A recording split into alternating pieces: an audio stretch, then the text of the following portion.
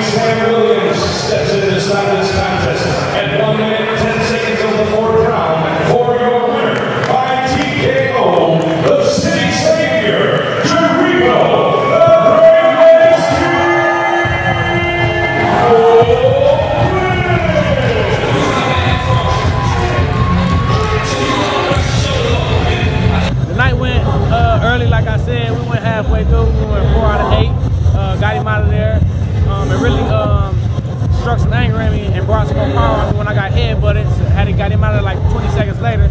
But dog was durable. Uh, he was tough. He could take a lot. But you know, we had to find a way to get him out of there.